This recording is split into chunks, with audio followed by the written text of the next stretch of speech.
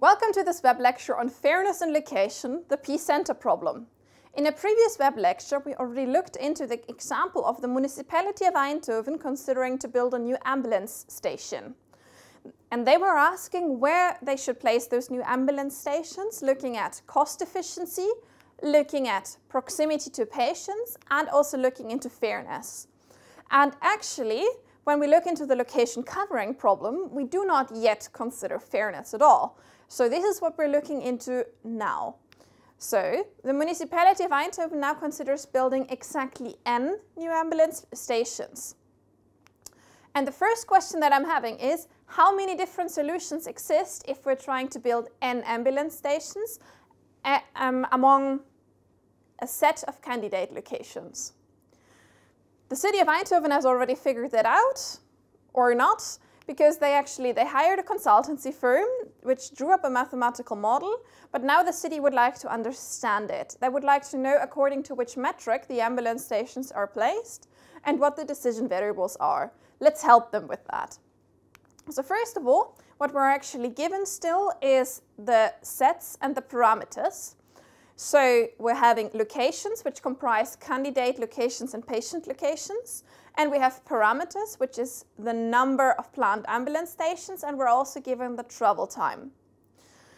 We're also given this mathematical model, and this is now what we're trying to understand. So first of all, what we're looking at is this constraint. So we're seeing that the sum overall yi equals to n.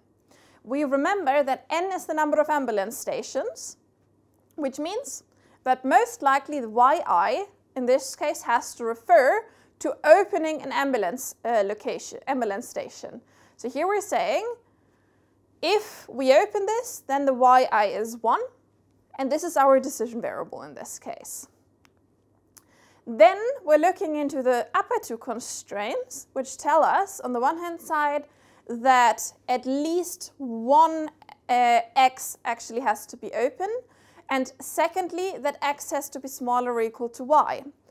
And that is, so this is at least one for all patients, which means that x refers to service. So as a patient at this location is being served. Um, so now we know what the decision variables are. So x refers to the flow between um, the ambulance station and the patient location, while y refers to the opening decision. Now we can look into the objective function. So the objective function actually is only one variable. So we're only minimizing t, and then now we can look into where we actually define t based on the other decision variables. And t is defined down here. So t is at least uh, the travel time between ambulance station and patient if this station is being, if, if, if, if there's a flow between these two. And from this, we deduct that we're looking for the largest time overall assignments. So if we're assigning this patient to this ambulance station, then we're, then we're considering the distance between these two. And this is what we're minimizing. So we, we figured out that we're actually minimizing the maximum duration between a patient and an ambulance station.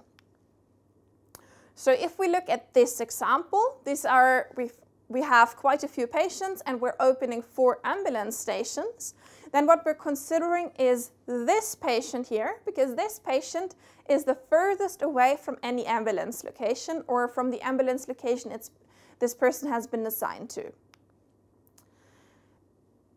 This, of course, comes with a disadvantage, and I would like you to think about what the disadvantages of this objective function, of minimizing t as compared to minimizing some other objective functions. And lastly, let's look into the decision variables. So we've already seen the set and parameters, but now we, we also have decision variables. First of all, we have the maximum travel time t, which is a decision variable. Then we have the decision if the ambulance uh, I in A drives to the patient J and P. And we have an opening decision for ambulance locations, which is YI. What I would like you to take away from this web lecture is first of all what the P-center formulation looks like. Secondly, I would like you to take away how to explain mathematical models if you don't know exactly what they're actually doing. What I would like you to look into is first of all the number of solutions. So how many possible assignments do I have if I would like to open an ambulance locations among uh, a set of candidate locations. And lastly, I would like you to think about the disadvantage when considering service quality of the objectives that we just saw. Thank you very much.